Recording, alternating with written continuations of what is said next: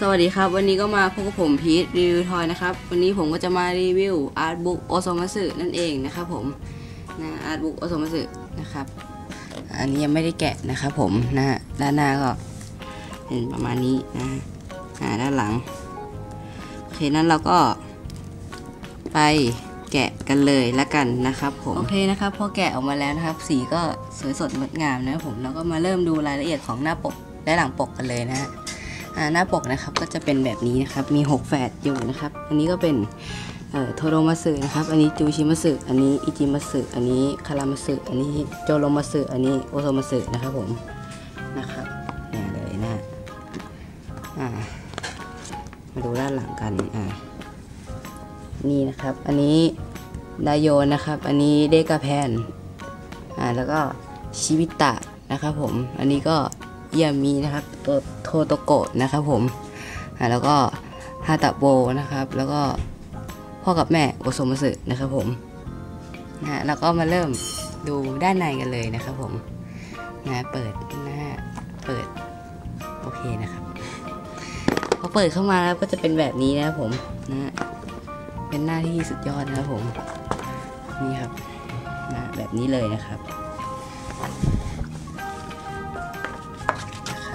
ปิดดูก่อนนะ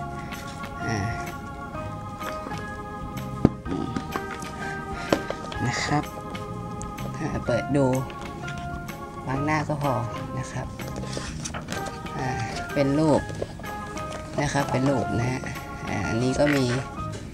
เอ่อเป็นรูปมา ก็มีแนะนำตัวละครนิดหน่อยนะครับนะแนะนำตัวละครนะครับของทุกตัวแหละนะแล้วก็มีชุด ทุกชุดหรือเปล่าไม่รู้นะครับผมนะแต่เป็นแนะนำตัวละครนะครับ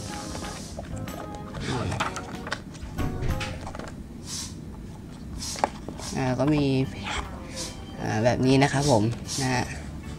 แล้วก็มีกระดาษอะไรไม่รู้ด้วยนะครับผมอ่าอันนี้ไม่รู้อะไรไม่รู้นะฮะอ่านี่ก็เป็นอ่าเป็นรูปนะครับนะก็ ประมาณนี้แล้วก็มีกร์ตูนด้วยอยู่ข้างหลังนะครับ ด้านหลังนี่เป็นกร์ตูนนะฮะนะครับ ตั้งแต่หน้า 98 นะครับด้านหลังก็เป็นภาษาญี่ปุ่นเยอะแยะมากมายนะฮะแล้วก็เป็นเอ่อเป็นโปสเตอร์ยาวๆนะครับผมดึงออกมาได้หรือเปล่านะฮะน่าจะดึงได้นะครับ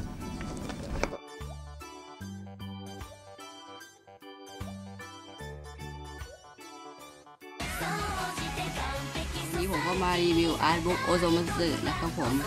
นะครับสำหรับคลิปหน้าจะเป็นอะไรก็อย่าลืมติดตามชมกันด้วยนะผมสำหรับวันนี้ก็มารีวิวเพียงเท่านี้ครับ สวัสดีครับ